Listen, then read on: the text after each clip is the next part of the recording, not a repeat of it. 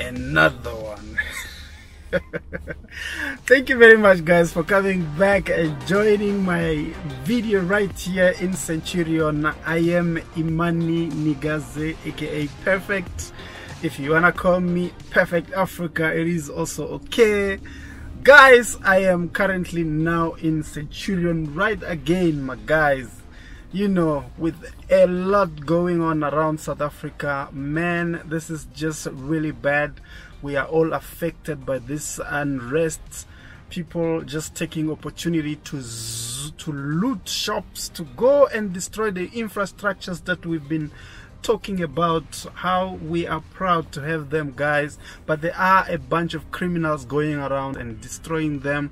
We strongly condemn those kind of behavior shops malls are being banned are being looted just because people are claiming to be angry uh, for the arrest of the former president jacob zuma. Man just say no. If you are living in these communities where people are looting please do your best and try. Just talk to one or two people to say this is not right. You would have brought about a change. So yes guys right now i am in centurion that's where I am in Pretoria in the Tshwane municipality.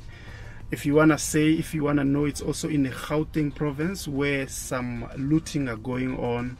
But yeah I, what I will say about this side I feel like it's okay here. It is safe. People in these communities are just saying no they cannot do that and right now we are just gonna go inside Makro. I have a few items that I need and yeah it's an opportunity for you to see guys.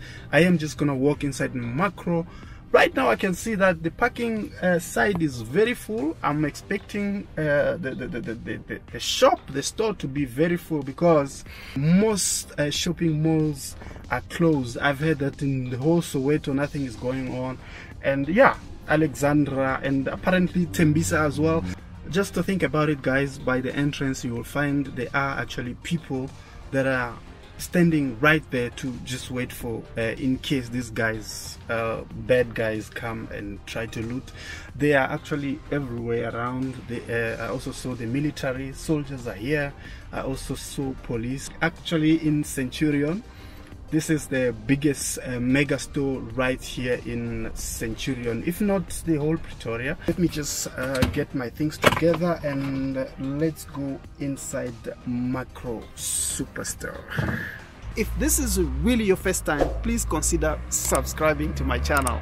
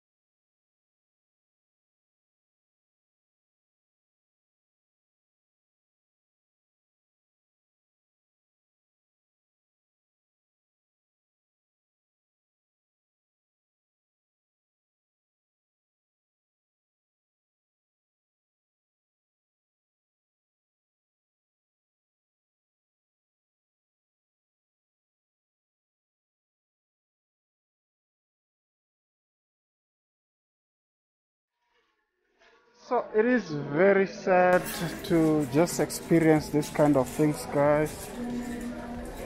I just hope that people will find a way to realize that it is so wrong, so wrong, so wrong. We're supposed to be really appreciating all these infrastructures and these businesses that are employed a lot of people. So I think it's so wrong what people are actually doing is uh, extra wrong. Just look around and see how many people are waiting in this stores.